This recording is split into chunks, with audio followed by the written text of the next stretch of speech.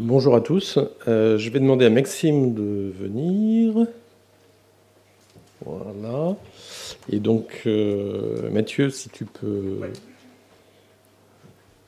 Voilà, donc nous allons euh, vous présenter un résumé du rapport que vous avez trouvé à l'entrée, ou que vous pourrez récupérer ensuite. tout ceci en un peu moins d'une heure, donc forcément on ne pourra pas aborder tous les sujets. Euh, mais on espère pouvoir vous transmettre euh, la substantifique moelle euh, de, de, nos conclusions et de nos recommandations. Donc, la présentation va se dérouler de la façon suivante. je, vais partager avec vous les principaux constats et également notre vision prospective à 2025. Puis euh, Maxime vous parlera du référentiel euh, environnemental du numérique, ainsi que de quelques leviers que nous avons identifiés pouvant permettre au sein des entreprises ou d'organisations de mettre en place des pratiques de sobriété numérique. Puis je reviendrai vous parler des pays en développement. et enfin, nous passerons aux conclusions. Euh, sans doute d'ici là, on nous aura dit que nous sommes en retard.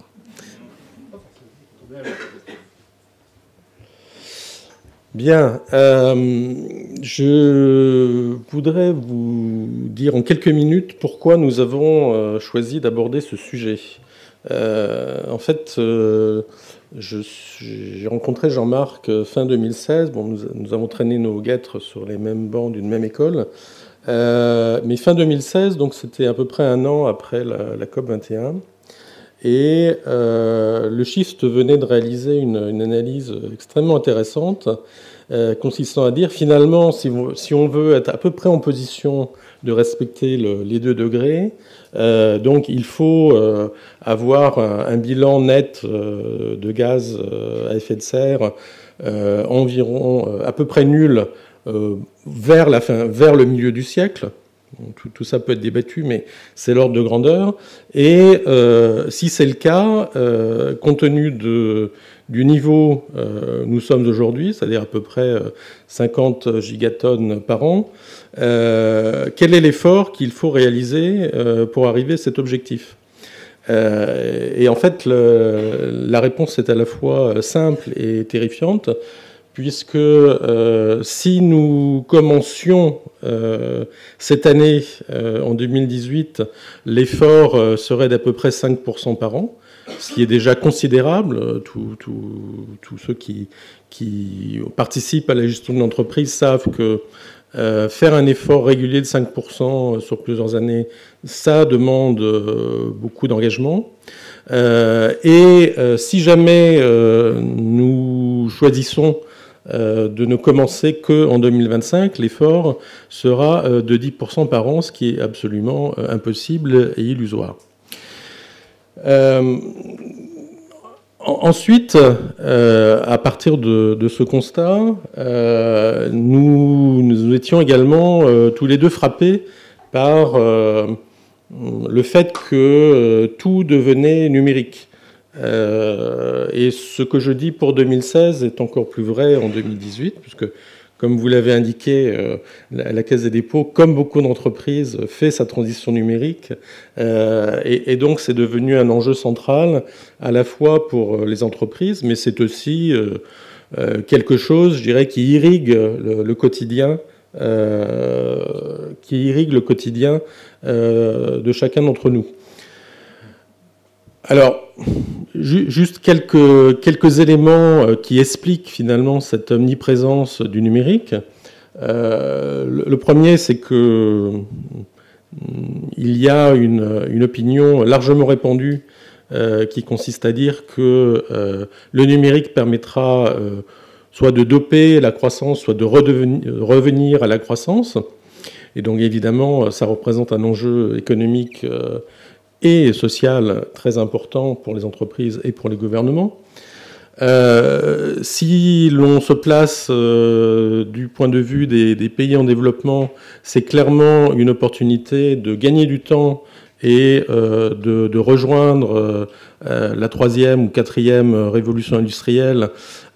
et donc c'est également un enjeu très important pour eux, à tel point qu'en 2016, donc la Banque mondiale a intitulé son rapport annuel les, dividendes numériques.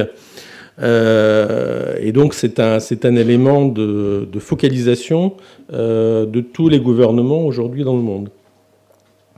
C'est également un phénomène sociétal et donc certains, euh, certains praticiens ont abouti à la conclusion que, que aujourd'hui nous assistons peut-être à une mutation de, de l'espèce humaine euh, et euh, nous, nous, et c'est d'autant plus vrai que nous sommes jeunes, donc plutôt, euh, je dirais, les, enfants ou les, petits-enfants de ceux qui sont dans la salle, ressentent en fait les objets numériques plus ou moins comme une partie intégrante d'eux-mêmes. Et, et, donc ça explique en fait pourquoi il est si difficile de se restreindre sur l'usage de ces objets numériques.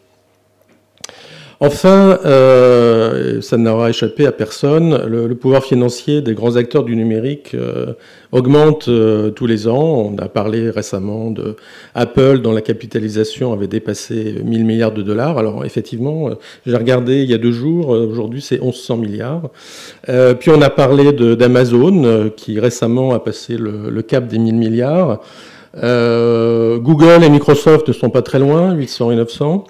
Euh, et euh, je dirais que dans une certaine mesure, euh, ça c'est la face émergée de l'iceberg, puisque ces GAFAM ont des concurrents chinois dont la capitalisation est moins impressionnante, mais ils ne sont pas non plus issus du même système économique et industriel, mais dont les spécialistes disent que leurs services sont largement au niveau, sinon supérieur, à ceux des GAFAM.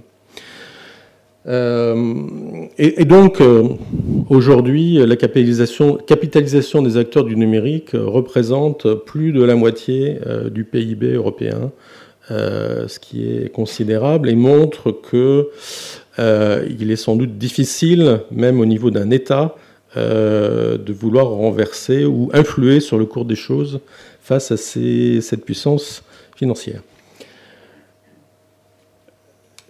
Troisième euh, point qui nous a frappé, euh, nous avons constaté que les avis sur euh, les relations du numérique et de l'environnement étaient très tranchés. Deux écoles, une école qui dit bien finalement tout, tout, va bien parce que plus on investit dans le numérique et plus cette transition numérique va permettre d'économiser euh, de rendre en fait les secteurs numérisés plus sobres et moins gourmands en énergie et moins émetteurs en gaz à effet de serre. Euh, et puis une autre école qui dit euh, non, ce que, vous venez de dire est peut-être vrai, mais en tout cas ce qui est sûr, c'est que la croissance des besoins énergétiques du numérique est totalement déraisonnable. Donc le, croisement de ces deux perspectives totalement opposées, euh, combinées euh, au constat que je vous exposais juste un peu plus tôt, euh, nous a lancé sur ce projet. Voilà, et sur lequel nous nous sommes donné trois objectifs.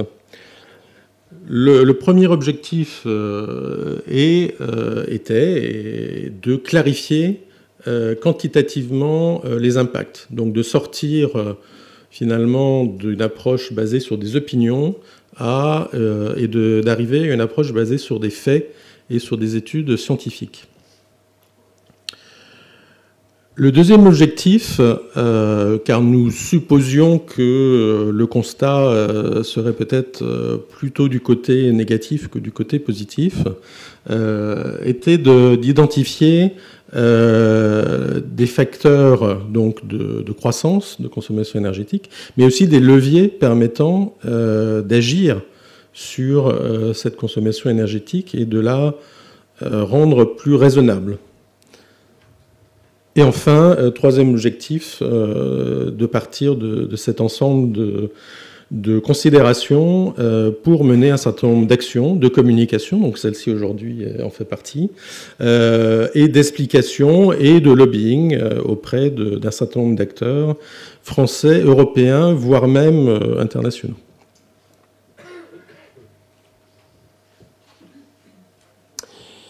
Donc pour cela, comme Mathieu l'a dit, nous avons formé un, groupe de travail euh, dont euh, certains des membres sont d'ailleurs présents euh, aujourd'hui et je voudrais les inviter à se lever à l'énoncé de leur nom, si si Françoise, si si, de façon à ce que pendant la pause vous puissiez aussi les interpeller si jamais des éléments du rapport vous semblent appeler des explications complémentaires. donc nous commencerons donc par Françoise Berthoud qui nous vient de Grenoble, et donc qui a dû se lever très tôt ce matin. Euh, Philippe Biwix, qui n'est pas là aujourd'hui. Euh, Pierre Fabre euh, non plus. Alain Ducasse est en Afrique. Daniel Kaplan n'est pas là. Laurent Lefebvre. Marc Vautier est ici. Samouli, je ne l'ai pas vu, mais il est peut-être là. Non, il n'est pas là. Alexandre Monin. Il est en interview, donc, mais euh, je vous certifie qu'il est là. Euh, pas là. Xavier Verne est ici. Euh, Maxime, évidemment, est là. Et Zenep, dont Mathieu a parlé, effectivement, est là. je ne vais pas dire revenu de congé de maternité, mais en interruption de congé de maternité. Qui, je précise, a commencé quasiment après la fin des travaux du groupe de travail, donc elle a été une contributrice éminente. Euh, deux, trois autres choses euh, sur ce slide dont je voudrais vous parler. Euh, nous avons bénéficié aussi également donc, de, la, de la contribution d'un certain nombre de shifters. Donc, je crois que Mathieu en a expliqué le principe. Non, c'est une communauté de sympathisants du Shift, à peu près une centaine de personnes, et euh, que nous sollicitons euh, honteusement, je dirais, et gratuitement, à chaque fois qu'il y a des investigations un peu précises à mener, notamment la lecture de documents, des traductions, etc. donc je parlais de documents. nous avons compulsé environ 170 études le plus possible euh, euh, venant d'articles universitaires euh, et, le, et toutes rédigées entre 2014 et 2018. Pourquoi cette dernière exigence? Parce que ça ne vous aura pas échappé, la technologie numérique évolue tellement vite que euh, des ordres de grandeur ou des ratios qui sont valables euh, une année donnée ne le sont plus du tout euh, cinq ans plus tard. Et, donc quatre ans, c'est vraiment la fenêtre de tir maximum que, que l'on doit avoir pour tirer des informations utilisables. Enfin, dernier point, euh, quand nous allons parler de numérique, euh, nous entendons la définition euh, que vous voyez projetée. Donc c'est une définition assez extensive du numérique. Donc en gros, ce sont tous les objets communicants et ou qui traitent de l'information. nous n'avons pas intégré dans ce périmètre ni les modules de communication intégrés dans les automobiles, et il pourrait y en avoir beaucoup rapidement, ni ce qui fait plus partie des automatismes industriels. Ça fait longtemps qu'on parle de machines numériques, etc. Euh, donc nous ne les avons pas pris en compte euh, explicitement.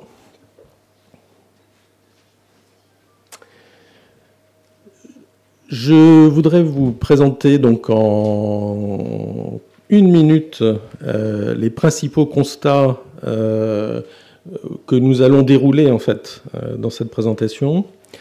Euh, le premier, c'est que euh, il est clair aujourd'hui que la tendance actuelle euh, de surconsommation numérique n'est pas soutenable. donc il ne faut pas se méprendre sur le sens de la phrase. nous ne disons pas que le numérique n'est pas soutenable, nous disons que la surconsommation numérique n'est pas soutenable. Et nous essaierons de définir ce que nous voulons dire par là dans le déroulé de la présentation. Le deuxième point, et c'est quelque chose que nous ne soupçonnions pas forcément au départ, c'est que l'intensité énergétique de l'industrie numérique augmente. Il faut savoir que c'est totalement à contre-courant euh, de l'ensemble du secteur économique. Donc c'est interpellant. Le troisième point, celui-là peut être débattu et n'était pas au centre de, l'étude, mais nous avons passé quand même un petit peu de temps, c'est que aujourd'hui, bien qu'il y ait surconsommation numérique essentiellement depuis 2013, dans les pays développés, on n'observe pas d'impact euh, ni sur la productivité, ni sur la croissance.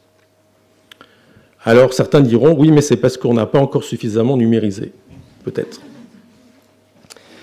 Le quatrième point, c'est qu'il faut, vraiment, euh, en général, euh, c'est cas de dire, se méfier des raisonnements généraux et des constats généraux. Et c'est encore plus vrai euh, dans le thème qui nous intéresse aujourd'hui, la surconsommation numérique est le fait des pays développés, voire très développés.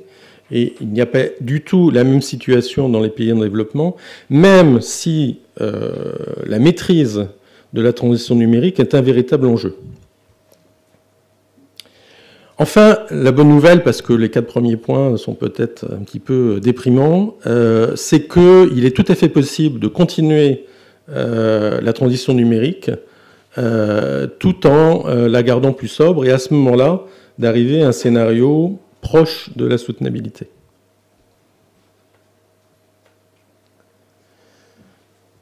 Donc, je vais maintenant vous partager euh, donc un, certain nombre de, conclusions que nous avons euh, tirées d'une étude de l'évolution de la consommation énergétique du numérique euh, depuis 2013. Et nous avons fait un exercice de prospective qui se termine en 2025. 2025, ça n'a pas l'air d'être très long, mais compte tenu de la rapidité des évolutions technologiques, c'est à peu près euh, le maximum que l'on peut faire euh, avec des hypothèses, euh, que l'on a une chance de vérifier. Alors, je, vais dans deux minutes vous présenter des courbes. Je, voulais vous indiquer qu'est-ce qui a présidé à l'élaboration de ces courbes, parce que finalement, c'est ça qui est important. Euh, donc la modélisation que nous avons adoptée pour euh, la consommation énergétique du numérique euh, s'appuie sur l'ensemble des, variables et des paramètres qui sont listés en orange.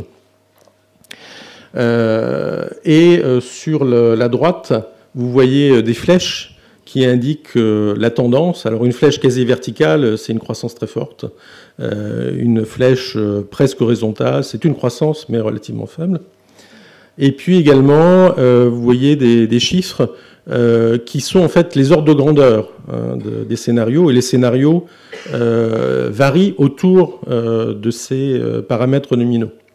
Donc par exemple, je ne vais pas avoir le temps de, tout expliquer, pour, pour la production d'équipements, bon, nous savons combien d'équipements sont livrés tous les ans jusqu'en 2017. Euh, ensuite, qu'est-ce qui va décider euh, du niveau de production de ces équipements? C'est euh, premièrement le fait qu'il y a des gens qui aujourd'hui n'en ont pas et qui vont en avoir, donc essentiellement dans les pays en développement, par exemple si on, parle, si on pense au smartphone. Mais euh, c'est relativement euh, négligeable par rapport à un deuxième facteur qui est à quelle fréquence choisit-on de renouveler euh, les équipements que nous avons déjà. donc là, ça c'est un paramètre très important. un autre paramètre que je n'ai pas, mis là, c'est combien d'équipements de, de, périphériques numériques avons-nous? C'est clair que si aujourd'hui nous en avons 5 et que dans trois ans nous en avons dix, eh bien il aura fallu produire euh, les cinq supplémentaires. Je vais passer à la slide suivante pour euh, arriver sur les résultats. Vous voyez donc euh, plusieurs couleurs. chacune de ces couleurs correspond à un scénario. le scénario qui s'appelle Expected Updated, en gros, c'est un scénario qui est un petit peu le prolongement de la tendance observée jusqu'en 2015. Et en fait, c'est un scénario que nous avons mis à jour, mais qui avait été créé par deux, euh, universitaires, euh, et Enders, en 2015. Euh, le scénario en bleu, c'est un scénario où la croissance du trafic s'avère plus forte et en fait, de facto, la croissance du trafic depuis 2015 est plus forte qu'avant. Euh, mais également euh, un scénario où les gains d'efficacité énergétique unitaire euh, des équipements, que ce soit les terminaux ou que ce soit les équipements dans les data centers ou les réseaux, donc que ce gain d'efficacité énergétique soit plus fort que par le passé. Le troisième, la troisième courbe, c'est une variante du deuxième scénario avec encore un peu plus de croissance euh, mais cette fois-ci, euh, un pic euh, des gains d'efficacité énergétique en 2020. ça ne veut pas dire qu'il n'y a plus de gains après 2020, ça veut simplement dire que les gains unitaires sont plus faibles après 2020 qu'avant.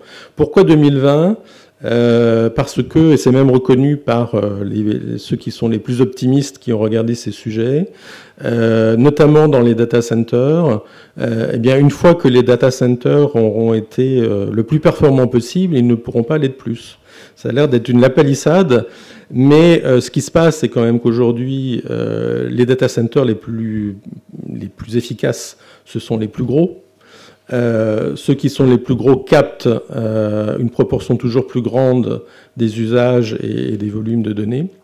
Et euh, effectivement, euh, lorsque euh, lorsqu'il faut 5% d'énergie en plus à l'énergie nécessaire pour les équipements pour climatiser un data center, ben, on ne pourra guère descendre en dessous. En tout cas, on ne pourra pas passer un, un, rapport inférieur à 1.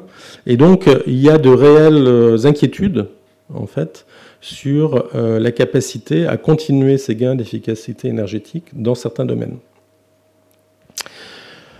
Euh, et le quatrième scénario, ben, c'est le scénario euh, de sobriété, alors qu'il ne veut pas du tout dire que l'on se serre la ceinture et qu'on ne consomme plus du tout de numérique. Non, c'est un scénario où la croissance du trafic issu des usages est supérieur à 15% par an, donc c'est très considérable.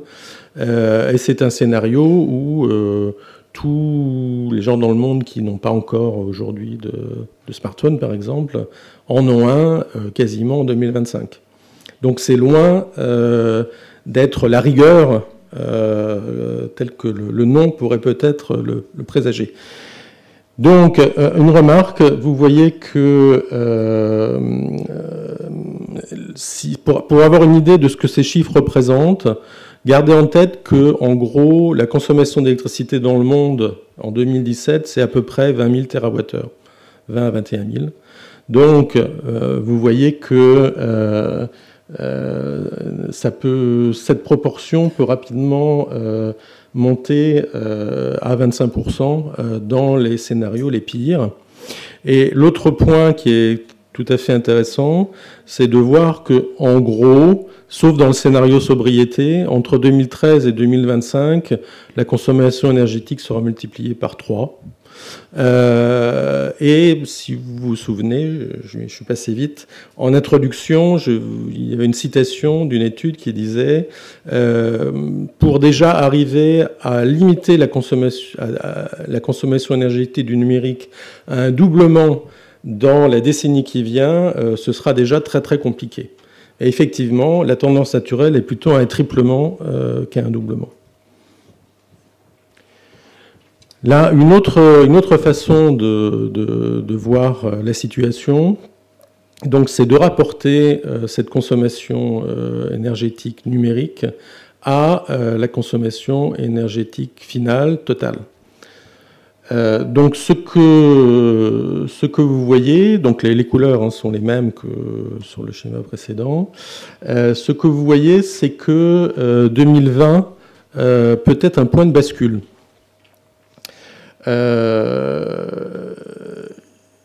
on, voit clairement que, en gros, si rien ne se passe en termes de changement dans la façon de regarder le numérique et de, de, retrouver une maîtrise de nos usages quelque part, euh, la tendance sera à une, euh, une croissance irraisonnable euh, de la part d'énergie consacrée au numérique. on voit qu'on peut arriver à, à 5%. Euh, c'est juste énorme compte tenu de, euh, de, ce qu'il y a derrière le numérique. Donc, la bonne nouvelle, c'est que l'on voit quand même que le scénario sobriété permet de, rester à peu près euh, au même niveau après 2020.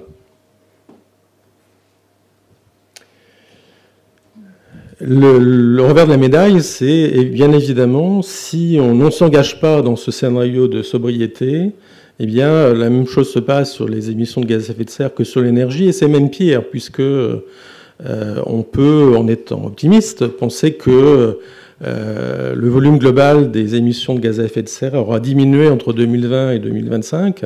Et donc, si la consommation euh, énergétique du numérique continue à augmenter, eh bien, ce, ratio d'émissions, lui, euh, va augmenter encore plus. et donc, pour, vous donner une idée, 8%, ça correspond à, au taux d'émission du secteur automobile aujourd'hui. Oui, donc c'est c'est juste, euh, d'une part, contre-intuitif euh, et quelque part aberrant.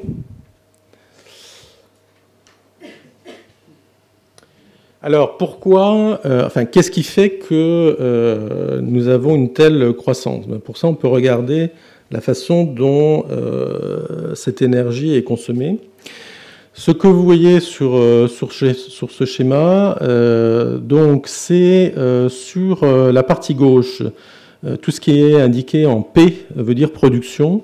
Donc ça, c'est l'énergie consommée respectivement par la production des smartphones, des ordinateurs, des télévisions et des équipements dont on se sert dans les réseaux et les data centers. Donc ce qu'on voit, c'est que cette phase de production représente 45% de l'énergie. Euh, ça, c'est un point qui est euh, en général, euh, qui est souvent n'est pas évoqué dans un certain nombre d'études ou de considérations. Et ce ratio de quasiment 50%, lui aussi est contre-intuitif parce que quand on regarde nos smartphones, on ne peut pas imaginer qu'ils aient consommé autant qu'ils l'ont fait. Et Maxime vous donnera tout à l'heure des chiffres qui vous permettront de réaliser de quoi je suis en train de parler. Euh, la, deuxième euh, conclusion, c'est que euh, la partie terminaux et périphériques représente 60% de la consommation. Donc, dans la presse, on voit souvent des articles sur les data centers qui, qui, ne sont pas vertueux, etc. Bon, c'est peut-être vrai, mais le, facteur principal d'inflation, c'est euh, le nombre de périphériques et euh, également la sophistication grandissante de ces périphériques qui va de pair avec une consommation euh, énergétique unitaire croissante. Et manque de chance, euh, eh bien, euh, nous nous apprêtons à avoir euh, toujours plus de terminaux. Alors, je, pourrais vous dire 25 milliards d'objets connectés en 2030, 50 à 100 milliards en 2050. Bon, 2050, personne n'en sait rien. par contre, il y, y, a des prévisions sur un horizon plus proche qui montrent que il y a un véritable décollage en fait euh, des équipements connectés, euh, soit, soit dans les maisons, soit des équipements euh, personnels. Et évidemment, c'est vu comme un, relais de croissance par un certain nombre d'offreurs, et donc il y a une, promotion extrêmement prégnante de, ces objets. Et comme ils sont tous plus petits les uns que les autres, ben, ben, bien évidemment, ce que je disais tout à l'heure sur le smartphone est encore plus vrai. Euh, sauf que nous avons aujourd'hui à peu près, ou nous aurons bientôt à peu près 5 milliards de smartphones dans le monde. Euh, nous nous apprêtons à avoir, 5-6 euh, ans plus tard, 20 à 25 000 objets connectés.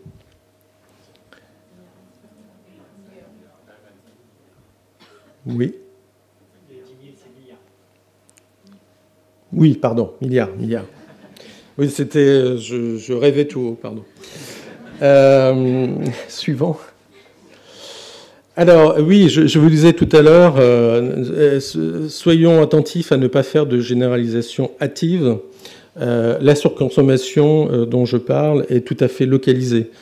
vous avez donc deux tableaux. Le premier vous dit euh, quel est le nombre euh, d'équipements numériques euh, connectés par personne selon les différentes régions du monde et la façon dont on s'attend à ce que ce ratio évolue jusqu'en 2021. Et vous voyez que là où il y a déjà le plus d'équipements par personne, c'est l'Amérique du Nord, essentiellement les États-Unis, mais c'est aussi là où le taux de croissance va être le plus fort. Euh, et puis bah, l'Europe occidentale, euh, c'est pas très loin. Euh, donc, donc non seulement aujourd'hui cette surconsommation est très polarisée, mais la polarisation est en train d'augmenter. Le deuxième point, c'est les conséquences de cette surconsommation. Quand on rapporte finalement les émissions de gaz à effet de serre occasionnées par l'usage du numérique par, par habitant. Et, donc là, euh, vous voyez que bah, les États-Unis sont nettement gagnants avec euh, un peu plus d'une tonne euh, de gaz à effet de serre, occasionné donc par l'usage et l'achat d'équipements numériques en 2016. Donc évidemment, en 2018, ça serait encore pire, et 2020 également. Euh, et vous voyez donc que le ratio, euh, si vous, alors vous me direz, euh, oui, mais ça c'est vrai pour tous les secteurs, oui, c'est pas faux. mais la moyenne quand même, si, on rapporte ce, le ratio d'émissions de, gaz à effet de serre par habitant global aux États-Unis au ratio mondial, le rapport est à peu près de 1 à 3, ce qui est déjà énorme. Là, il est de 1 à 5. Euh, donc on voit bien euh, à quel point ce phénomène de surconsommation est intense, même par rapport à des habitudes euh, de consommation américaines décalées par rapport au reste du monde. Voilà, donc j'en ai, fini donc de, la présentation très rapide de, ces résultats prospectifs. Je vais donc passer la parole à Maxime qui euh, va vous parler euh, du référentiel environnemental du numérique.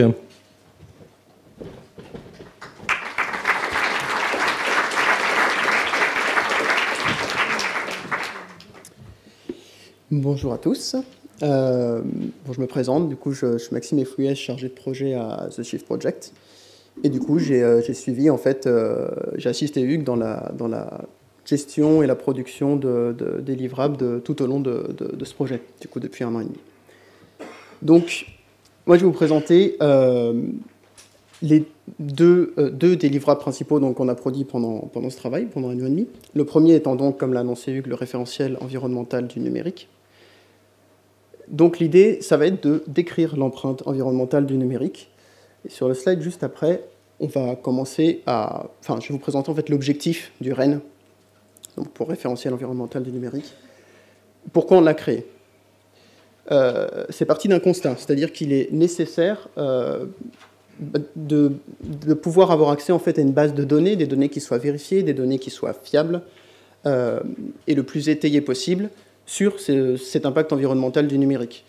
C'est une conclusion que tous les acteurs des transitions énergétiques et numériques, c'est une conclusion à laquelle tous ces acteurs sont arrivés.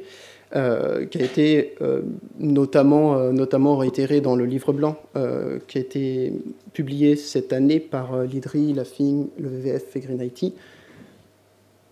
voilà, c'est le problème identifié pour traiter le problème. C'est-à-dire qu'avant de traiter la question, il faut pouvoir la poser correctement. Et du coup, le REN, a priori, c'est l'embryon d'une telle base de données. Donc notre ambition, c'est de construire quelque chose qui puisse ensuite être étayé, repris par les acteurs, pour en faire quelque chose de vraiment utilisable opérationnellement. Donc pour présenter le périmètre de notre référentiel, parce qu'on l'a dit, c'est un embryon, donc il y a des limites. Euh, au début, donc, euh, la validité des résultats, c'est-à-dire dans quelles limites ils sont valables. C'est-à-dire dans quelles limites ils sont valables. Euh, donc c'est un, un, référentiel qui est non exhaustif, mais qui a été construit de manière à être pertinente. Le but, ça n'a pas été de décrire l'entièreté de l'environnement de l'environnement numérique, euh, ça n'a pas été de décrire tous les impacts environnementaux, ça a été de créer une première vision représentative de l'écosystème numérique et de son lien avec euh, les ressources énergétiques et naturelles. Ensuite, c'est basé donc, comme l'a dit Hugues, sur de nombreuses études, notamment universitaires, qui ont toutes leurs incertitudes euh, explicitées, mais qui ont aussi des divergences méthodologiques qui sont importantes, puisque en plus de l'absence d'une base de données standardisée euh, dans ces questions, on a aussi une absence de standardisation des méthodologies, qui est une problématique qui est, très connue dans toutes les problématiques euh, liées à l'environnement. Donc, absence de standardisation des méthodologies, ça crée une diversité euh, de viabilité des résultats et donc des incertitudes supplémentaires. Ensuite, donc, pour traiter en fait ces deux problèmes et pouvoir quand même construire quelque chose de représentatif, les résultats qui sont présentés dans le rapport et dans ce tableur qui, a été publié en ligne sur le site du Shift, le lien étant euh, dans les sources du rapport en libre accès. Euh, donc tous ces chiffres sont à lire comme des ordres de grandeur et des moyennes. Ce pas des chiffres exacts, c'est des chiffres pour poser une, première matérialité en fait euh, sur ces questions. La deuxième limite, en fait, c'est la caractérisation numérique, c'est-à-dire comment est-ce qu'on a caractérisé notre objet, puisqu'on a dit qu'on ne le faisait pas de manière exhaustive. Du coup, on l'a caractérisé au travers de deux composantes, les équipements et ce qu'on a appelé les actions numériques, qui sont en fait l'utilisation des équipements. Et du coup, on va, voir ça plus en détail juste après. Euh, mais, euh, du, coup, voilà, le REN s'adresse à un premier tableau de la question qu'il va falloir poser, et ça donne euh, un socle pour, pour essayer de construire en fait les, outils qui vont pouvoir répondre à ces questions. Donc, je vais commencer par la, première composante, donc l'impact des équipements euh, numériques. Ça se divise en deux phases, parce que donc on a bien essayé de prendre euh, le cycle de vie en compte. On n'a pas pris la phase de fin de vie, c'est expliqué plus, précisément dans le rapport euh, pour des questions de fiabilité des données. Donc, on a décidé de se concentrer sur la phase de production et la phase d'utilisation, là où on avait des données qui étaient viables, pour commencer donc à construire quelque chose. Voilà, donc ça, c'est le, rendu donc, du livrable sur la phase de production pour les équipements. Euh, pour l'organisation du tableau, euh, donc on a euh, les équipements en haut, on a pris l'ordinateur portable, le smartphone, un serveur pour représenter le centre de données et la télé connectée. Dans les impacts, on a un impact énergétique et un impact gaz à effet de serre. On a pris l'énergie primaire ici euh, pour représenter au mieux la consommation d'énergie qui, est associée à la production de ces, euh, de ces équipements. Et ensuite, on a les impacts métaux, et tout en bas, le volume de terre. Euh, ces métaux, ils ont été choisis de manière à représenter le mieux possible la pression que peut, la pression que peut exercer en fait l'industrie numérique, l'écosystème numérique sur des ressources naturelles qui sont géopolitiquement et au niveau euh, de la ressource pure, euh, qui soulèvent en fait des, questions, euh, des questions de, viabilité sur le long terme. c'est ce qu'on appelle en fait les métaux critiques, les, matériaux miniers critiques. donc voilà, et, donc on a, on a, caractérisé un certain nombre de métaux, donc évidemment ça ne couvre pas du tout l'entièreté des métaux, ça a été choisi de manière à être pertinente au vu des enjeux que, ça, touchait.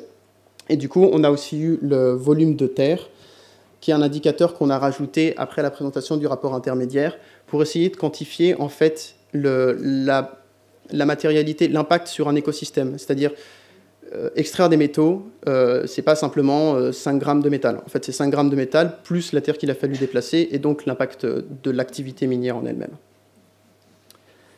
Ensuite, du coup, je vais me concentrer sur un exemple, là, le smartphone, pour montrer un peu ce qu'on peut ressortir de ces données et comment on peut les utiliser. Donc voilà, le smartphone, bon, c'est ça, donc ça pèse à peu près 140 grammes.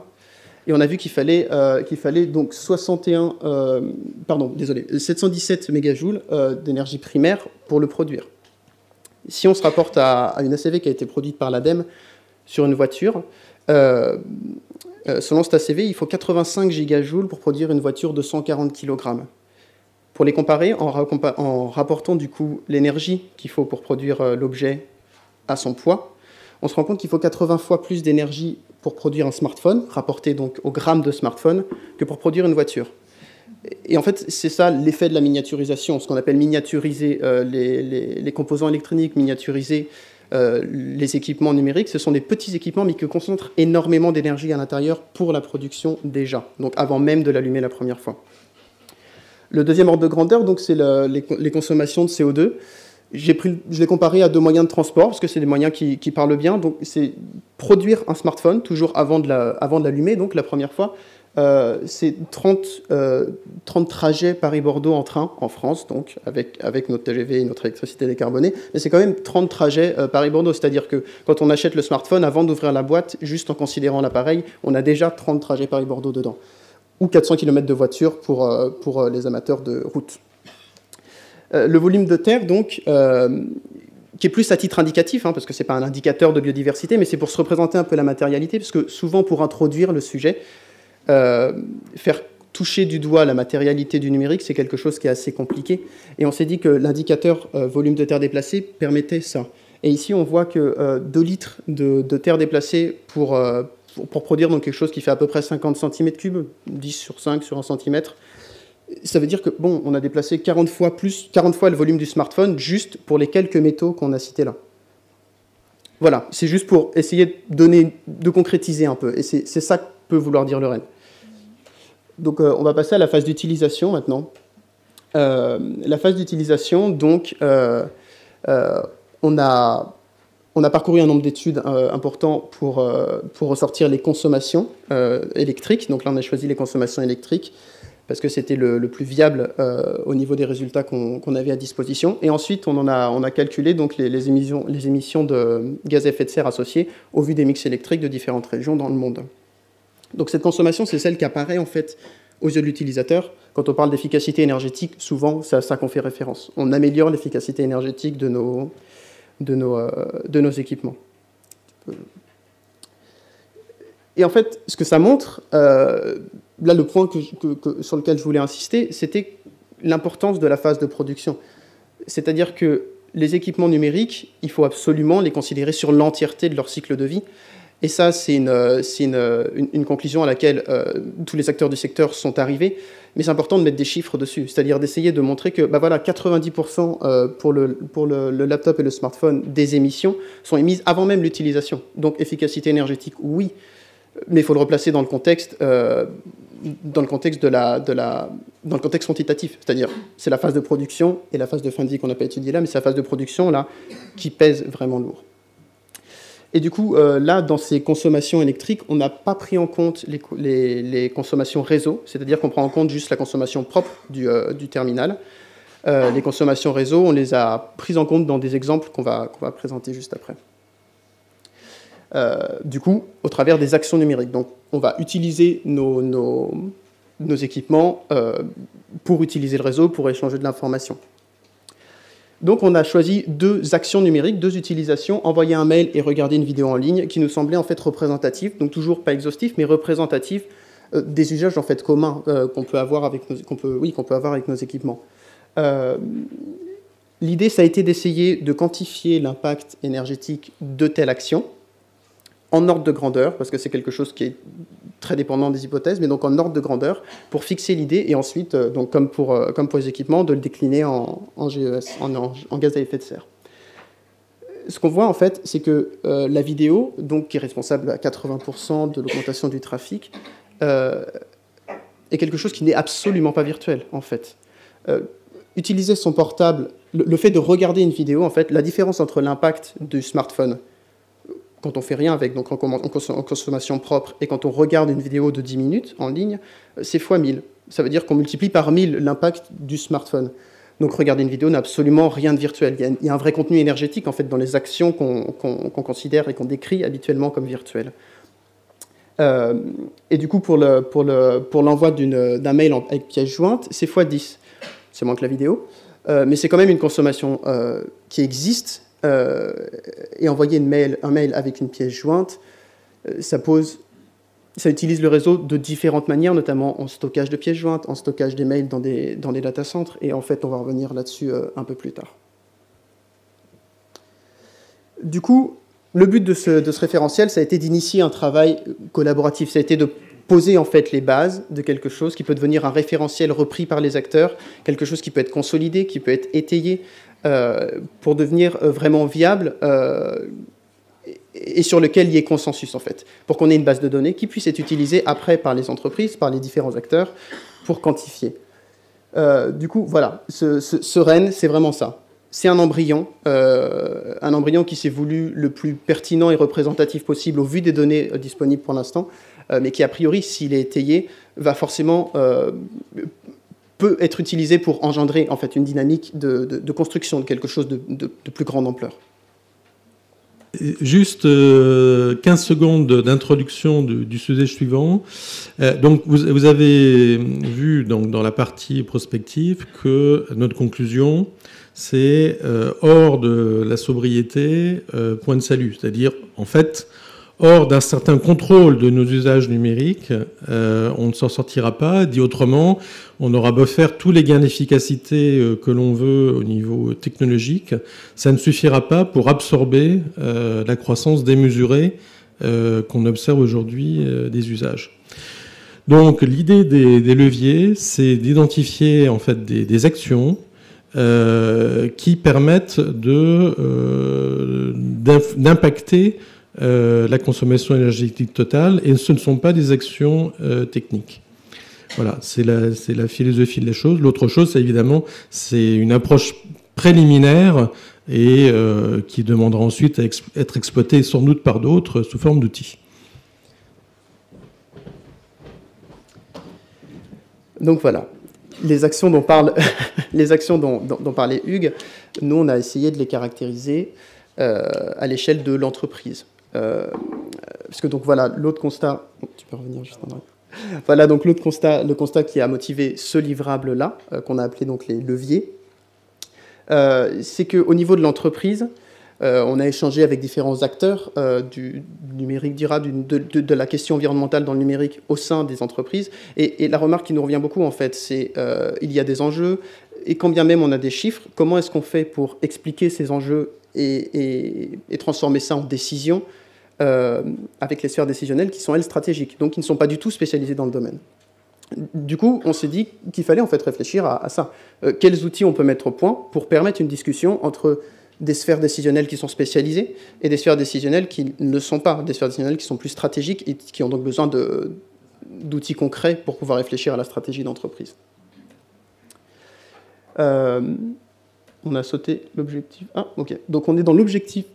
Oui, c'est ça, périmètre de levier, pardon. Donc le périmètre de levier, euh, comme pour le livre précédent, euh, je vais juste faire un, tour rapide du, domaine de validité. Donc c'est des exemples de leviers et d'outils. Euh, ce qu'on entend par levier, c'est des décisions, des, processus en fait qu'on peut mettre en place dans l'entreprise, puisque c'est notre, c'est notre objet d'étude, pour diminuer l'impact de l'écosystème numérique. Les exemples qui sont donnés sont utilisés pour construire, pour mettre en place des méthodologies euh, qui peuvent être prises donc par les entreprises. C'est pareil, le livrable est disponible en ligne avec toutes les hypothèses euh, modifiables, adaptables euh, et, explicites pour que ça puisse être repris par les entreprises comme modèle, comme inspiration pour construire ensuite des outils qui soient propres à leurs activités et vraiment pertinentes sur le plan opérationnel. Du coup, ce qu'on a fait, c'est qu'on a quantifié à chaque fois pour une, pour une situation donnée l'effet que le levier peut avoir ça sera plus clair euh, avec des exemples concrets. Et du coup, voilà, l'idée, c'est que la situation qu'on a pris en départ, c'est censé être représentatif d'une situation, d'une situation valable sur le, dans les entreprises qui existent, mais évidemment, ce n'est pas du tout exhaustif ni, ni, limitant. Ensuite, le destinataire donc, de, de, de ces leviers, euh, c'est les entreprises qui sont utilisatrices du numérique. On a essayé de se concentrer sur la partie utilisation du numérique, la partie production euh, étant moins liée aux usages, c'est des problématiques qui vont peut-être être plus techniques. Du coup, là, on s'est concentré sur les entreprises utilisatrices, c'est-à-dire on utilise un service, on utilise un équipement.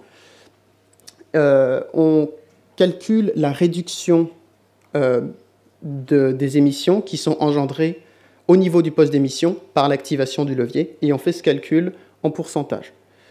L'idée étant euh, de, construire, euh, de construire quelque chose qui peut s'inclure dans un bilan carbone assez facilement, euh, puisqu'on considère l'impact annuel au niveau d'un poste d'émission. Donc c'est quelque chose qui peut rapidement être compris en fait par, les potentiels utilisateurs.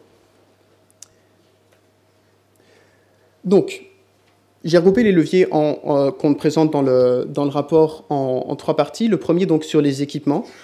Euh, il y en a deux, le 1 et le 2, qui jouent sur la durée de vie des équipements, et le troisième euh, qui joue plus sur le nombre d'équipements euh, dans la flotte de l'entreprise. donc ici, c'est une exploitation directe des données du REN. Ce qu'on a essayé de voir, c'est est-ce que nos données dans le REN, ça peut donner quelque chose au niveau opérationnel. Donc on a utilisé directement les données qu'on avait agrégées dans la première partie du projet. et donc là, je vais prendre l'exemple de la, de la durée de vie la durée de vie, euh, on a pris donc un allongement de 3 à 5 ans pour les ordinateurs, de 2,5 à 3,5 pour les smartphones. Euh, donc 3 ans pour les ordinateurs, 2,5 ans pour les smartphones. A priori, avec les échanges qu'on a eus, c'est quelque chose qui est vraisemblable euh, en entreprise. Et on a voulu voir, donc, en augmentant un petit peu, en fait, la, durée de vie, ce qui comptait. Et on se rend compte qu'on a quand même des, diminutions sur ce poste d'émission qui sont vraiment importantes. Et en fait, ça vient notamment de l'impact très fort de la phase de production. C'est-à-dire que là, on calcule l'impact annuel, mais en rapportant l'impact de production par année de vie. Donc plus la durée de vie est longue, plus l'impact de production baisse. Et du coup, c'est quelque chose qui est vraiment pas négligeable euh, dans la prise en compte et donc qui peut être pris en compte euh, au, niveau, au, niveau, décisionnel. Et du coup, par exemple, pour un employé qui aurait un ordinateur et un smartphone, euh, activer les leviers 1 et 2 sur son poste équipement professionnel, ça lui diminue quasiment du tiers, en fait, l'impact de, ce poste d'émission, ce, qui est du coup vraiment pas négligeable au niveau, au niveau décisionnel.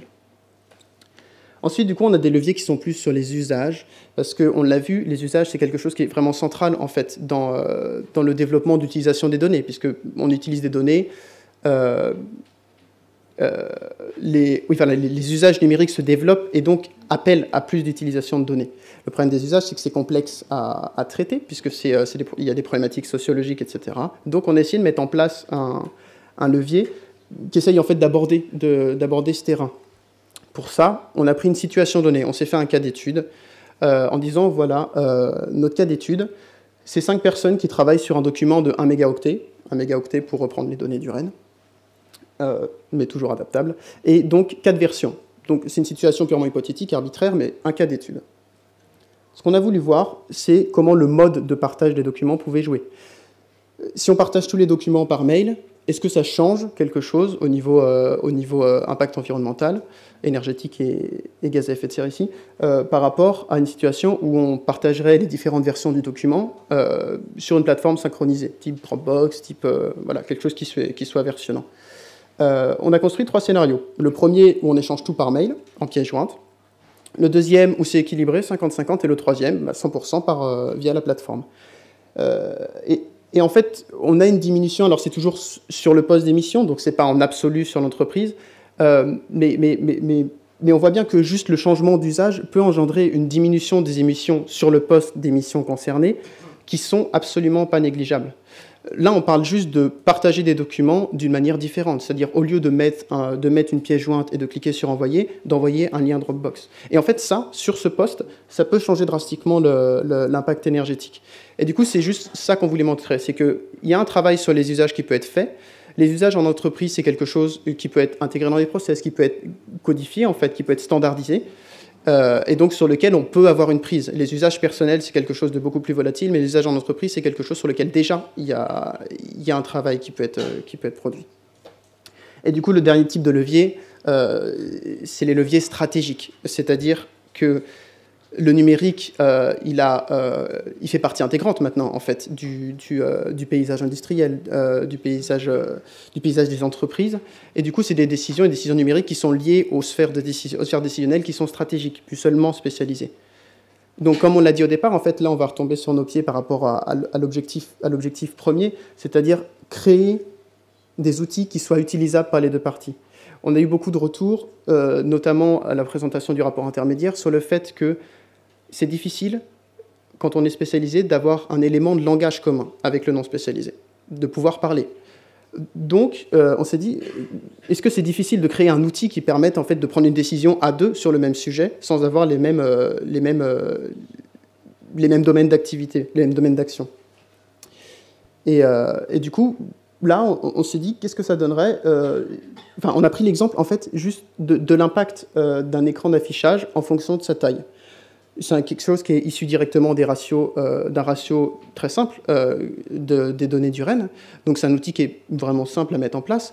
Et en fait, euh, ce type d'outil, il, pourrait, il pourrait permettre de discuter la question quelle taille d'écran, quel nombre d'écrans on peut déployer dans, un, dans, un, dans un, contexte de prise de décision de, déploiement d'équipements d'affichage. de terminaux d'affichage, on, on, voit, beaucoup dans les, entreprises, dans les entreprises euh, de, transport, euh, les, publicitaires, notamment dans les grandes surfaces aussi, c'est des domaines où on voit un grand déploiement en ce moment euh, d'écrans d'affichage, qu'ils soient publicitaires ou informatifs. et ces écrans d'affichage, ils sont souvent gérés par des départements de communication et pas du tout par le, le, département DSI, qui lui a les compétences numériques. Et du coup, l'idée de ce genre d'outil, euh, c'est juste de, donner un outil qui soit très simple à comprendre et à mettre en place et à être réutilisé par des départements qui n'ont pas les compétences. Euh, donc là, c'est un exemple très simple. Il y a des outils plus complexes qui peuvent être mis en place euh, pour aboutir peut-être à, quelque chose qui s'apparenterait en fait à, des outils qui permettraient de dresser le bilan carbone du numérique. Euh, quelque chose qui permettrait de, caractériser le, contenu carbone d'un euro d'investissement de transformation numérique. Et là, on pourrait véritablement arbitrer, est-ce que cette transformation numérique, elle est essentielle euh, ou est-ce qu'en fait, au vu du, contenu euh, qu'il y a dans, dans, cet euro d'investissement de transformation, c'est pas essentiel pour l'activité? Du coup, euh, du coup, voilà, pour, euh, pour euh, donner la conclusion de ce, deuxième livrable, on, a là on essaie d'initier un travail qui soit systématique. On, veut, on, est toujours dans la standardisation, on veut créer des outils qui peuvent être standardisés et systématisés au niveau de l'entreprise ou et euh, au niveau de l'entreprise pour les outils spécialisés et, des outils plus généraux qui soient, qui soient disponibles pour les différentes entreprises, qui soient développés donc euh, euh, en collaboration avec tous les acteurs pour qu'ils soient vraiment pertinents. L'idée étant vraiment donc de, réussir à introduire la problématique environnementale dans les décisions stratégiques numériques qui font aujourd'hui partie de la colonne vertébrale de, de, l'économie. Bien, merci Maxime. donc je vais vous parler des pays en développement. Euh, juste euh, donc une, remarque pour faire le lien entre ces, deux parties. Donc, ce, que Maxime nous a présenté montre qu'il y a donc des bonnes pratiques que l'on peut définir en entreprise, des bonnes pratiques qui ne sont pas, euh, d'une dimension technique ou technologique. Euh, la, la, question qui se pose ensuite, c'est quelle est la gouvernance qui permet de mettre en place ces bonnes pratiques? Juste euh, une remarque, c'est que euh, au fur et à mesure que les entreprises avancent dans leur transition numérique, concrètement, elles ont de plus en plus d'équipements, et donc concrètement, en fait, le poids du numérique dans leur bilan carbone augmente, à tel point que dans certaines entreprises de services, euh, le poids du carbone dans le bilan, le poids du numérique dans le bilan carbone est supérieur à 30%. Donc ça devient également un enjeu euh, vu de cette fenêtre. Je faisais cette remarque parce que nous, allons voir que pour les, pays en développement euh, se pose également une question de gouvernance de leur transition numérique. Premier, euh, premier point, je disais tout à l'heure, la consommation, la surconsommation numérique est, très polarisée. Euh, c'est vrai. Euh, ce qui est vrai également, c'est que euh, plus de la moitié de l'humanité aujourd'hui n'a pas accès à Internet. donc, quand on dit Internet fait partie du quotidien, c'est vrai, mais pour une personne sur deux.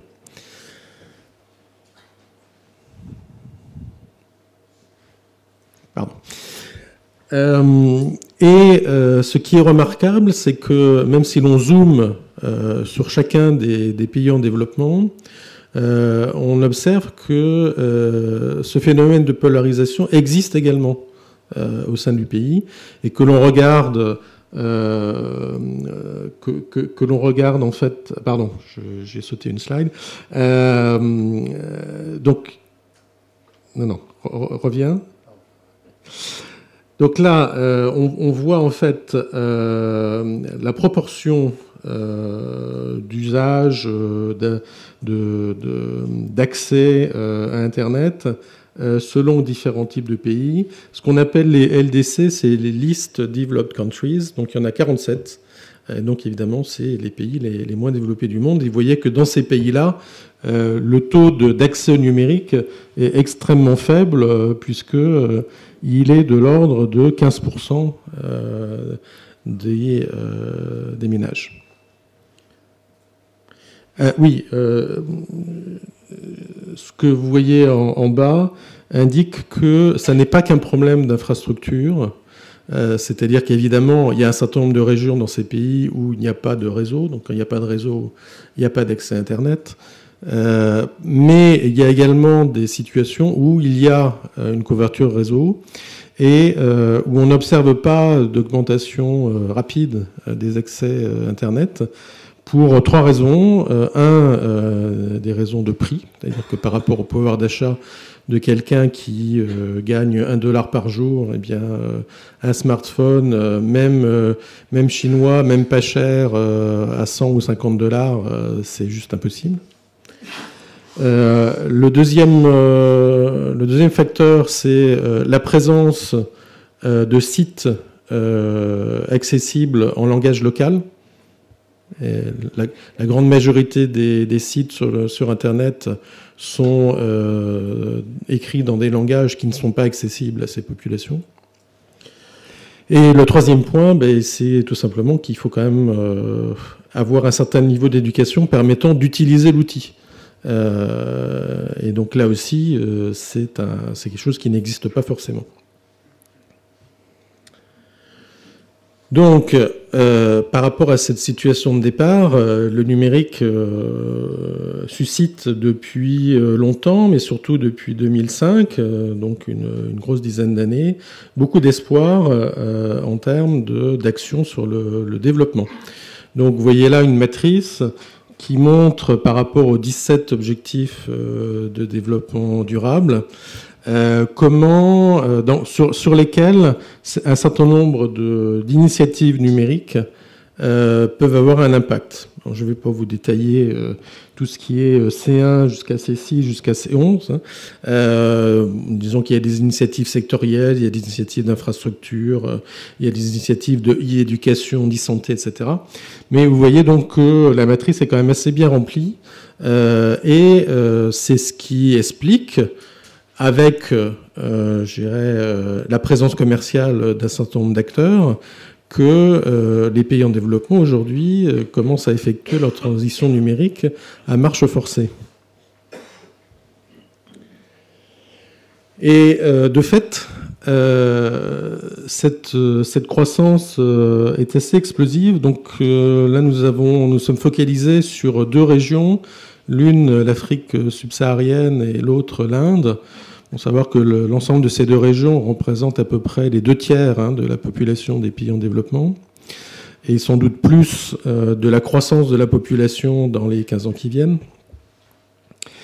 Euh, donc, ce que vous voyez sur, euh, ce schéma, c'est euh, ben, l'augmentation des livraisons de smartphones, qui progresse de quasiment 20% par an. Donc, concrètement, On a livré à peu près 100 millions de smartphones en Afrique subsaharienne l'an dernier. On en livrera 300 millions en 2023. et cette croissance du nombre d'équipements livrés n'est rien à côté de la croissance sur les réseaux et sur les data centers, puisque là, le trafic euh, augmente 30% euh, en Inde, mais 60% euh, en Afrique. Donc même si on part de niveaux très très bas, hein, vous vous rappelez, un Indien consomme aujourd'hui 1 gigaoctet de données alors qu'un Américain en consomme 100, bien le, taux de croissance est significatif de problèmes de croissance. C'est-à-dire que si on ne gère pas correctement cette croissance, on a toutes les chances qu'elle euh, soit sous-optimale. Si on observe maintenant euh, les conséquences donc, de cette croissance euh, des équipements et des usages sur la consommation énergétique, on, voit que là également, c'est très très fort, donc de 15 à 30% selon les, régions du monde. Euh, à tel point que euh, si on faisait un ratio qui est artificiel, mais qui permet quand même de donner une idée euh, d'ordre de grandeur, si on faisait un ratio donc de cette consommation énergétique par rapport à la consommation électrique du pays, on voit que la part numérique passe en gros de, de 7% en Afrique à 20%, à 25% en 2023 et de 8% en Inde à 15%. Euh, donc euh, c'est euh, là aussi significatif d'une croissance qu'on peut qualifier pour le coup d'explosive. Ah, oui, je voulais commenter le, 80%, parce que 80% est un chiffre magique, j'ai constaté ça en faisant les calculs.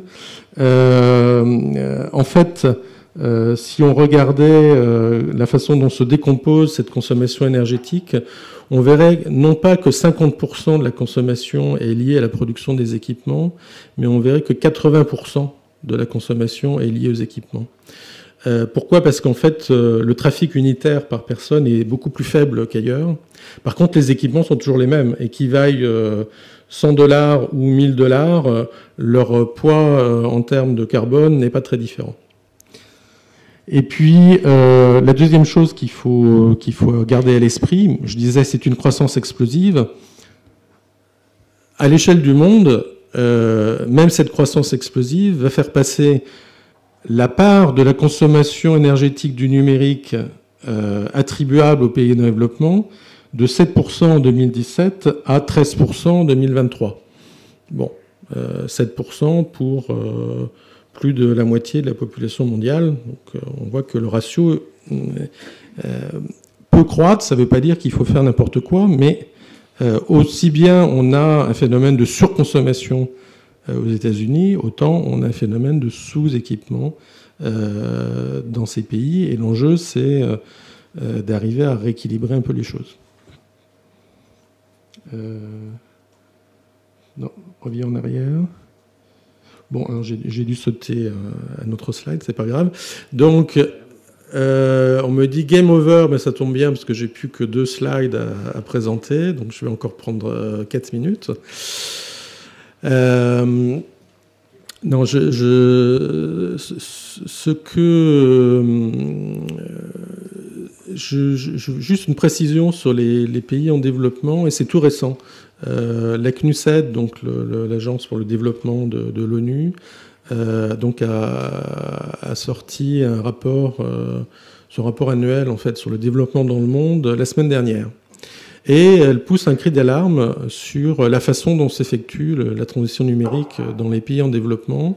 Et sur les risques en fait c'est pas écrit comme ça, mais c'est ce que ça veut dire, euh, de détournement des investissements qui y sont faits euh, au profit euh, essentiellement des GAFAM et des BATX, sans forcément qu'il y ait un impact extrêmement positif sur les populations concernées.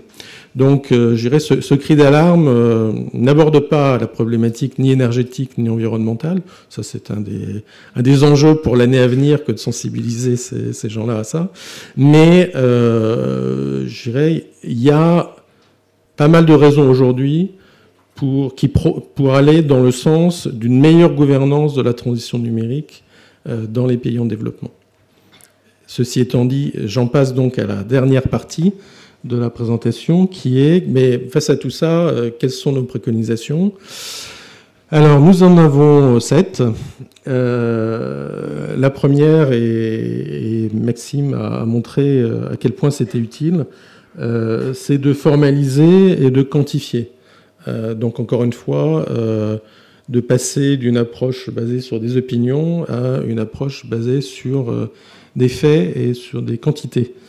Euh, d'où l'idée euh, de euh, la base de données publique dont il a parlé.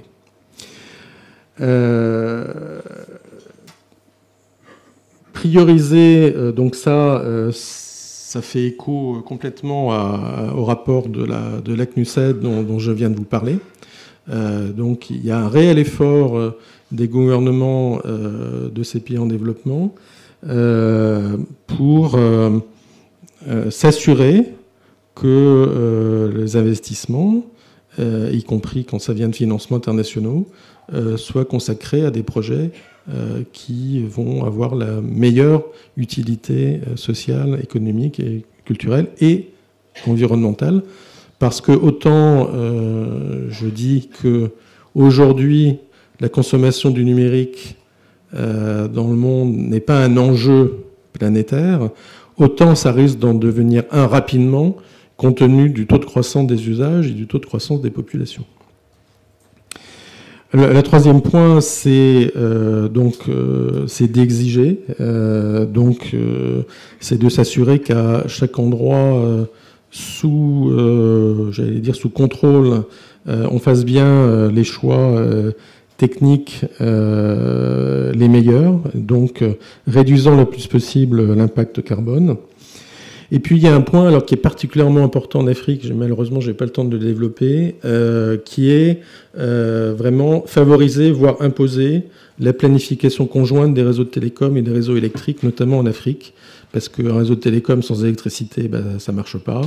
Et inversement, euh, le réseau de télécom est un fort consommateur d'électricité, et donc il peut justifier lui-même, euh, par lui tout seul, euh, un investissement du réseau électrique.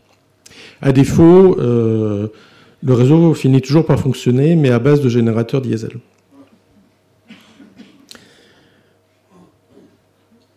Et enfin, alors le titre est pas le même, c'est localisé, pas le bon, c'est localisé. Donc il s'agit de localiser euh, à la fois euh, les contenus et euh, l'utilisation de l'écosystème numérique. Donc d'éviter, ce que je disais tout à l'heure, que tout se déporte vers les GAFAM ou les BATX. Je dirais en ce moment plutôt les BATX.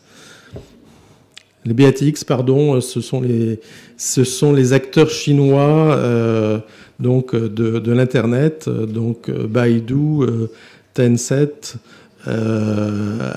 Alibaba et Xiaomi. Puis il y en a quelques autres. Voilà, donc ça pour, ce qui est des pays en développement. Et donc j'en viens aux conclusions générales. Vas-y. donc je, reviens sur les, constats, mais très, très, très rapidement. Donc euh, la tendance actuelle de surconsommation numérique n'est pas soutenable, on l'a vu sur l'exercice prospectif. Euh, euh, la consommation numérique actuelle est très polarisée, vous l'avez vu également avec les dispersions des ratios de, consommation. Sur le point 2 et le point 3, je ne vous ai rien présenté qui le prouve, mais ça fait partie des choses que l'on a regardées. Et le point, je dirais, qui donne espoir, c'est euh, la transition numérique est conciliable avec un moindre impact euh, environnemental, voire avec un impact environnemental qui permet de respecter l'accord de Paris, euh, mais ça passe forcément par une politique de sobriété, que ce soit au niveau des États, des entreprises ou des ménages. Continue. Et donc on va retrouver en fait ce principe décliné de différentes façons. Euh, ce qui est clair, hein, et là je ne vous ai pas présenté de, des détails, mais les deux facteurs les plus impactants, c'est euh, la durée de vie euh, des terminaux, notamment des smartphones, et deuxièmement, les usages vidéo. Savoir que 80% en fait de la croissance du trafic, ce sont des usages vidéo. Or, on peut sans doute questionner l'utilité sociale, voire culturelle, de certains de ces usages. Euh, Jean-Marc le dirait beaucoup mieux que moi, mais enfin, vous voyez ce que je veux dire. Euh, euh, et donc, ça passe en particulier par une prise de conscience, encore une fois, non pas sur des opinions, mais sur des faits. Et donc, d'où l'utilité du REN et ensuite de cette base de données publique. Troisièmement, euh, je ne sais pas s'il y a des représentants de l'État euh, dans la salle, mais euh, il y a clairement également, en termes d'action publique, des choses à faire et d'imposer en fait des cahiers des charges, euh, énergétiquement vertueux quand on veut acheter des équipements informatiques. Ça a déjà été fait et Françoise pourra vous en parler à la pause puisque ça a été fait pour la communauté de la recherche il n'y a pas très longtemps. Donc c'est possible et ça donne des résultats. Quatrième point, donc, euh, il y des outils de pilotage euh, dont on vous a donné euh, un aperçu, mais qui demandent évidemment à être à la fois adaptés au contexte de chaque entreprise et développés pour couvrir un, éventail plus large d'usages et de situations. Cinquièmement, euh, procéder à un bilan carbone euh, des projets numériques pour faciliter euh, leur priorisation. Au départ, j'avais rédigé cette préconisation, je l'avais limitée aux pays en développement. Puis en fait, j'ai eu des discussions avec des gens en France qui m'ont dit oui, mais le bilan carbone, on en parle beaucoup, mais on le fait rarement à titre prévisionnel. et donc cette recommandation, cette préconisation, elle s'applique finalement d'abord euh, aux pays développés et le projet numérique, c'est pas ça qui manque.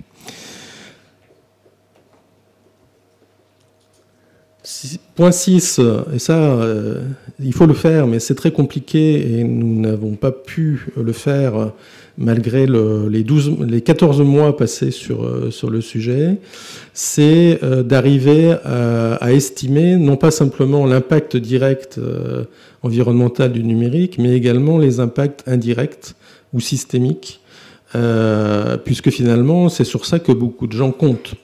Euh, or, on sait que pour un certain nombre de raisons, dont l'existence d'effets rebonds, alors là aussi, euh, des effets rebonds, si vous voulez des précisions, Françoise vous en parlera à la pause, mais il y a plein d'effets qui font que quelque chose qui est initialement une bonne idée s'avère au pire euh, être désastreuse d'un point de vue environnemental, au mieux euh, apporter effectivement un avantage, mais qui est plutôt de l'ordre de quelques pourcents d'amélioration du bilan et non pas de 20, 30 ou 40% comme on pouvait le rêver au départ.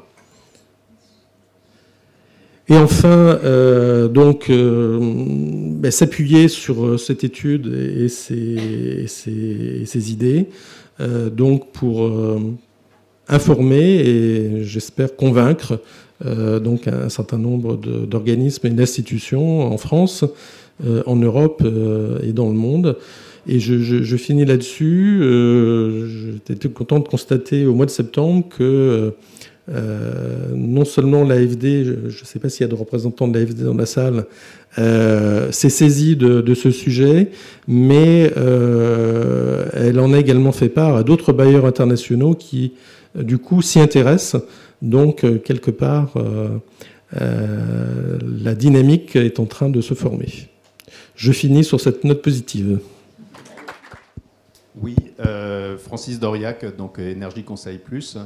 Je vous remercie beaucoup pour cette présentation et en tout cas, il y a des chiffres qui sont particulièrement intéressants, comme celui donc de savoir qu'une vidéo effectivement émet infiniment plus donc de, euh, de CO2 qu'un mail, euh, mail déjà important, parce qu'un mégabit, je pense qu'on peut mettre pas mal de choses, quand autrefois on avait quelques centaines de kilos et on pouvait déjà tout dire euh, dans une centaine de kilos. Alors, moi, ce que j'aime bien, c'est que, et, en même temps, il y a le deuxième message de montrer que, effectivement, 90%, si j'ai bien retenu, étaient liés aux émissions lors de la production de l'équipement. Donc dans le deuxième message, je me dis, bon, bah, une fois que tout le monde sera équipé, ça va, le phénomène va, va, saturer. on peut avoir un portable, deux portables, mais au-delà, je vois plus tellement l'utilité. Alors ce que j'aime bien, c'est dans votre conclusion, il y a certaines recommandations extrêmement pratiques, comme peut-être bah, limiter les usages de la vidéo. Moi, je suis assez d'accord, c'est peut-être pas très utile, enfin, où l'utilité sociale est peut-être limitée. Euh, c'est aussi, par exemple, dans les data centers, on sait que les data centers sont dimensionnés sur le pic et sont utilisés à quelques dizaines de pourcents. Donc je me demandais si vous n'aviez pas, dans l'idée de ces conclusions extrêmement pratiques et pratiques, un certain nombre de recommandations, comme par exemple sur euh, peut-être limiter les forfaits illimités qui induisent euh, peut-être des comportements inconsidérés des utilisateurs, des recommandations sur les data centers.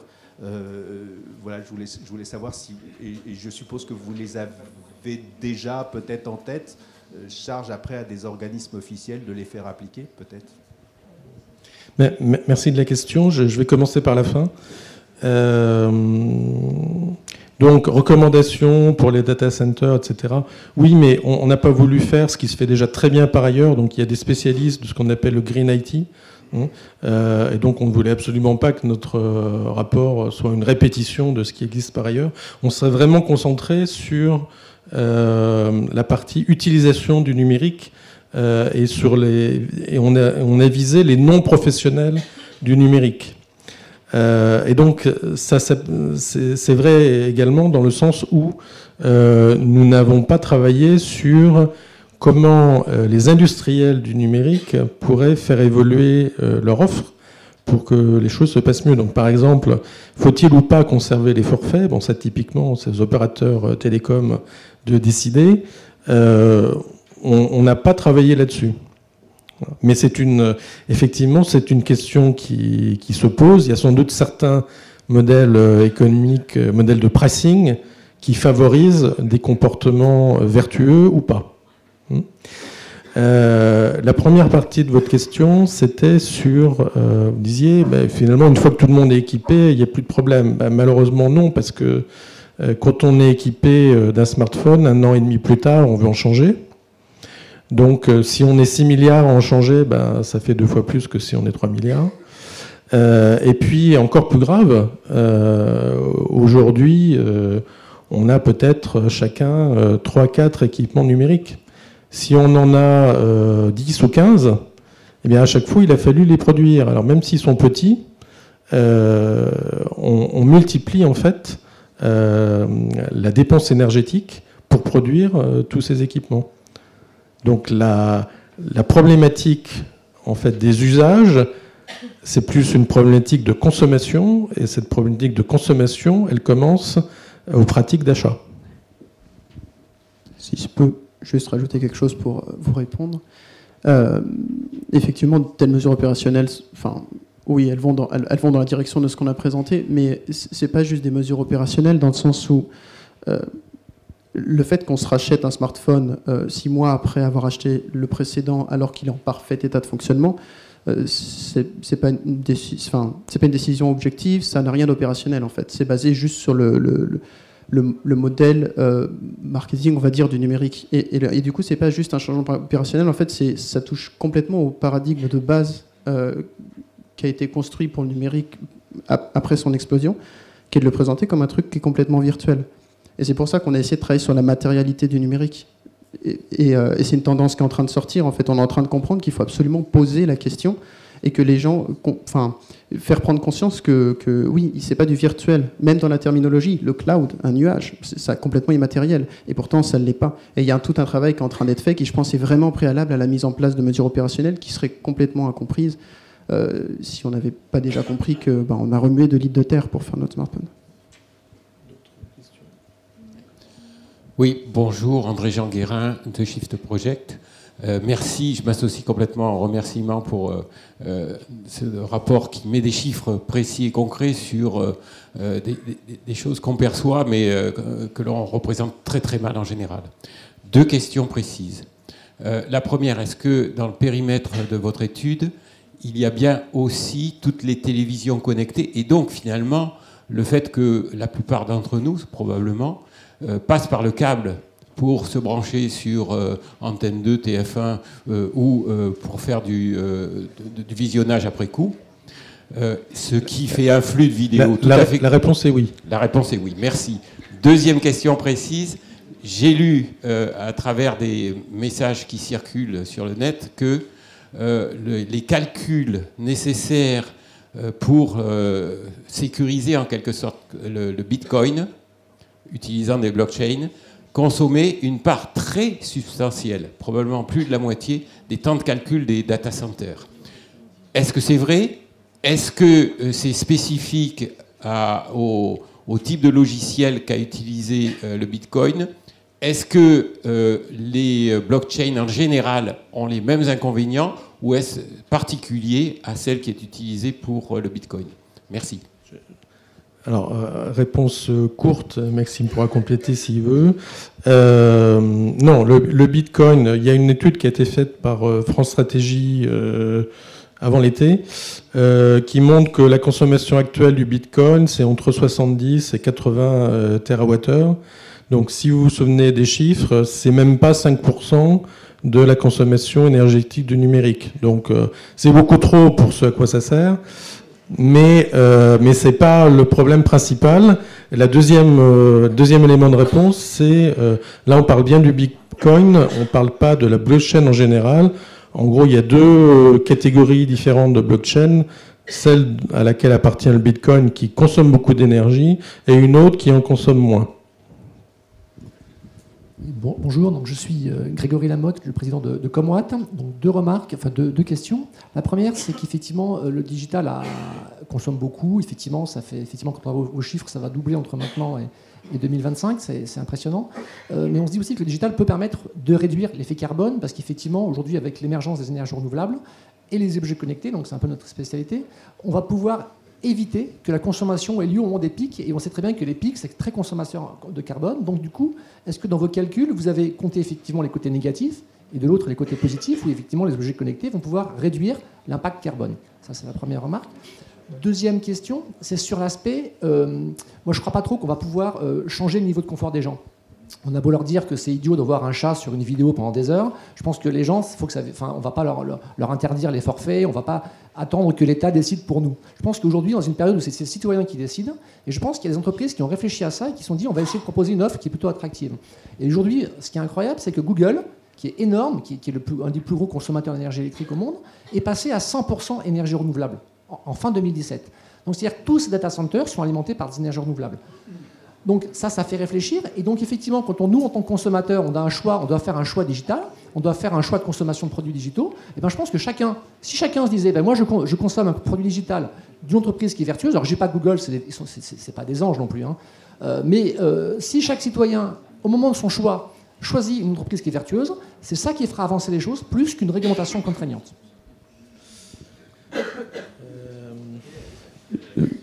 Vas-y, je, compléterai. Je, vais juste euh, introduire une question, parce qu'effectivement, on s'est posé la question. Le but de ce projet, c'était vraiment de se dire, euh, le numérique sur le plan environnemental, il a, il a des atouts. Euh, et c'était de voir justement comment ces atouts, comment pouvait pencher la balance en fait. Et il se trouve que là, pour l'instant, vu que c'est un développement qui est plutôt irraisonné, en fait, on ne fait pas vraiment pencher la balance parce qu'on ne se concentre pas. L'idée, c'est vraiment de pouvoir identifier euh, les, euh, euh, les, atouts principaux, les, utilisations qu'on peut en faire justement pour servir des objectifs qui sont, je ne vais pas dire légitimes parce que c'est un jugement de valeur, mais qui sont, plus pertinents peut-être au, vu des objectifs généraux. et du coup, en fait, si on a besoin de prioriser, c'est parce qu'on on se, se place dans un contexte de ressources finies. Et en fait, c'est la, composante qu'il ne faut, pas, qu'il faut pas éluder du discours. C'est-à-dire que, euh, disons qu'on va euh, vers une alimentation de tous les data centers en énergie verte, complètement renouvelable, 100%. Euh, on a vu l'évolution du trafic. Donc, comme vous l'avez dit, effectivement, les consommateurs ne vont pas se raisonner d'eux-mêmes. On leur propose 30 gigas, 30 gigas en 3G, 40 gigas en 4G pour 20 euros par mois ils les utilisent. Ils regardent des vidéos dans le métro et des vidéos de chats. Bon, euh, du coup, du coup euh, ça va pas servir à la transition énergétique, mais ça va réclamer de l'énergie. Donc il va falloir mettre en place des infrastructures, il va falloir développer ces infrastructures. les data centers vont grossir et donc on va devoir développer des énergies renouvelables. Euh, le problème, c'est que les matériaux qui sont nécessaires à la transition numérique sont aussi nécessaires à la transition énergétique. Et du coup, c'est des matériaux qui vont rentrer en compétition. Et là, on commence à comprendre euh, qu'en fait, il faut absolument quantifier ce truc. Et c'est juste cet exercice qu'on veut, qu'on veut forcer à faire. C'est quantifier ce que ça nécessite pour pouvoir réfléchir objectivement. Pas dire, euh, si le data center est alimenté en énergie verte, alors il n'y a plus d'impact. En fait, non. En, fait, vraiment, les transitions numériques et énergétiques, oui, elles sont couplées, mais elles sont couplées. Donc, il faut, toujours les considérer euh, comme concurrentes, parce qu'elles elles, peuvent elles sont couplées de manière, euh, on va dire, vertueuse, c'est-à-dire qu'elles vont pouvoir s'entraider l'une l'autre, euh, mais elles sont aussi concurrentes sur, sur, sur de nombreux aspects. Et c'est cette partie concurrentielle, en fait, qu'il faut, qu'il faut réussir à quantifier pour pas louper justement la transition comme elle peut l'être. Ouais, je, vais compléter la réponse, mais peut-être de façon un peu plus tranchée. Euh, j'aurais pu présenter les choses comme ça. si on regarde la consommation énergétique du numérique, en gros, à plus de 80%, elle ne vient pas des entreprises, elle vient des ménages. Premier point. Donc quand, on dit euh, les entreprises qui essayent de faire des choses, c'est très bien, mais ça concerne que 20% du sujet.